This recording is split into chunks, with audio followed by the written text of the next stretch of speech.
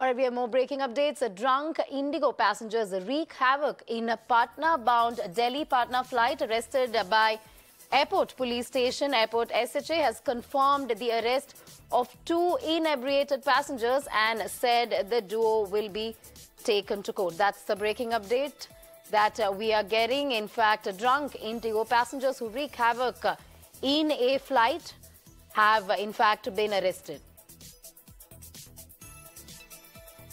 We have Aditya live with us on the story. Aditya, another incident of uh, unruly behavior mid-air.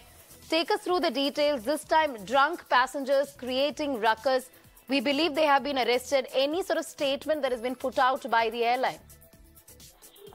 Well, exactly. As far as the uh, drunk passengers and their uh, deeds are concerned, of course, uh, two persons uh, created massive havoc uh, uh, inside a inside a Delhi Patna flight the last night. Interesting to note here is the fact that after being checked by the breath analyzer, they were uh, confirmed to be positive for consuming alcohol. Interesting to note here is the fact that uh, after the entire incident and after the flight landed, the uh, airliner officials technically went ahead and reached out to the local police, after which the airport police station intervened and arrested one Rohit and Nitish for their suspected uh, misbehavior inside the airline. Interesting to note here is the fact that by now the airline is yet to uh, announce or make any official statement on the entire issue, but then unofficially the airline officials are categorically say, uh, claiming that they have taken appropriate actions and involved the police so that proper investigation and inquiry can be taken ahead.